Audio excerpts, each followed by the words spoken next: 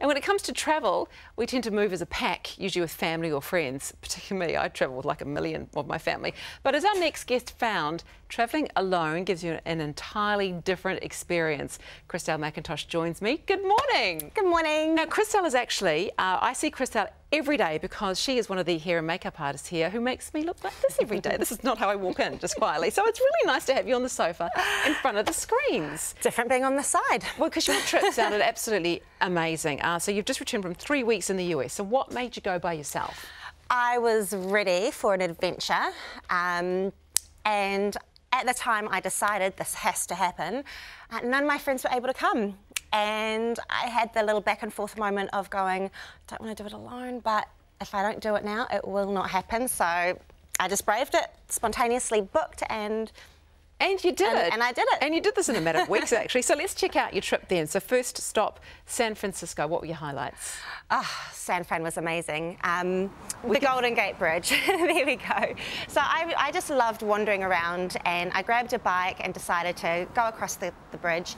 And just the, the cruising along, getting there. There you are. there I am.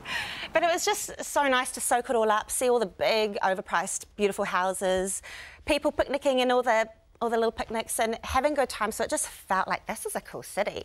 And then I got to the other side of the bridge, went up the hill, and it was just a beautiful beautiful view of the whole city. Yeah. So um, that was a good highlight. Ended up at my first baseball game, got to see the 4th of July fireworks for the first time and met lots of locals. Yeah, so how did you actually do that? How did you connect with the locals?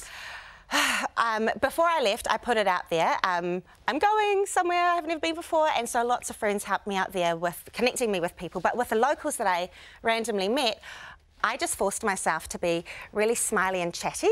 Yeah. And um, I just, I just made myself talk to anyone that would talk to me. And, and that's, can... that's a great thing, isn't it? It takes you like a little bit outside of your comfort zone. Yeah. And pushes you a little bit further. I felt myself a few times naturally wanting to withdraw, closing off the conversation. I would like give myself a silent slap and and continue on and and then I just felt very grateful that I from that was kind of making friends rather than just having a little And did you make some friends that you think you're going to keep for life when you were there? Yeah, absolutely. Oh, that's really good. How do you think you got a bit of a different travel experience? Say if you went with your friends, how was this different? Um, hugely different. I think with travelling with people, with your friends, you tend to do everything with them. So you make plans together, you're having fun together, you're, you're chatting together. You don't really put yourself in any situations where you talk to other people. So yeah. Being by myself, I pushed myself to be more open in conversations.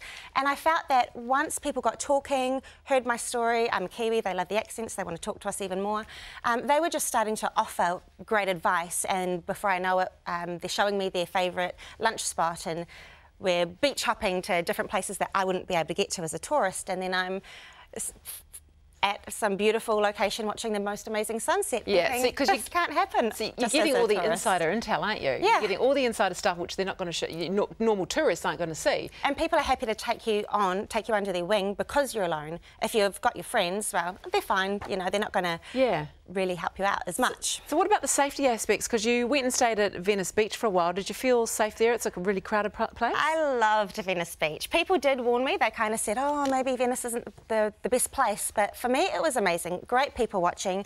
Through the day, everyone, like you've got all the tourists that are just having a great time and all the locals want to keep their reputation as good and safe. So there was no trouble. And you see, there is a lot of homeless, unfortunately, but they all kind of stick to themselves right. and, and they're out of harm's way. So there was never any moment I felt unsafe. So you never felt unsafe. That's good. Now tell me about New York. This looked amazing. And how on earth did you get an invitation to something that we see on movies and telly, a rooftop party?